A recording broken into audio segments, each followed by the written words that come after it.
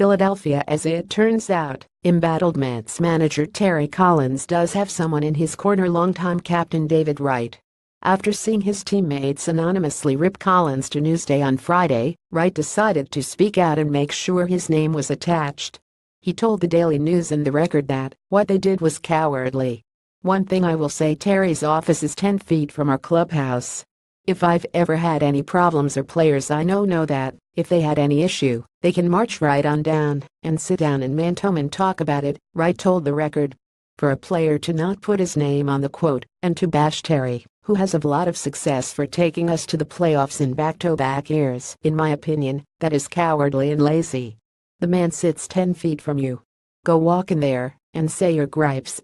Terry has treated us like men and adults, Collins goes on the defense the Mets have launched a very public smear campaign just days before they're expected to tell him his services are no longer needed.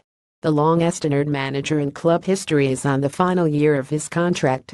There were a variety of accusations hurled at Collins by the front office through Newsday and the New York Post, but Wright took particular aim with the notion that Collins lost the clubhouse and made himself unavailable while one former player did tell New Jersey media that Collins uses veterans to communicate with younger players, Hess always been known as a popular coach with an open-door policy. Although Wright was gone most of the season, attempting to rehab his injured shoulder in California before finally undergoing surgery, he insists Collins never shut that door. And Hess not the only proponent of Collins just 24 hours before both reports were published Jose Reyes lauded him, saying he was like family Hess like my second father, Reyes said, after the Mets beat the Braves in what was perhaps the last game at Citi Field for either of them. That's how much love I have for him, and he has for me. The communication that he had with me since 2011, when I met him is unbelievable. I don't know what the future holds for him, but I wish him all the best. The SNY TV crew was so angered by the classless act, they couldn't contain their disappointment on the broadcast. It continues what has been a regrettable pattern in this organization of trashing people on their way out the door and I just don't understand where that comes from, longtime play-by-play man Gary Cohen said, on the broadcast of the Mets game against the Phillies on Friday night.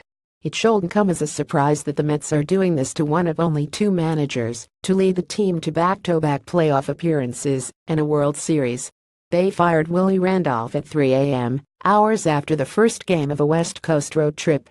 Wright was upset that these things were leaked to the media, saying some things need to be handled internally. But he was even more upset with his teammates' actions. As players, it's our job to be accountable, he said. Accountable is putting a name on a quote. Abby Mastracco may be reached at amastracco at njadvancemedia.com. Follow her on Twitter at abbymastracco. Find NJ.com on Facebook.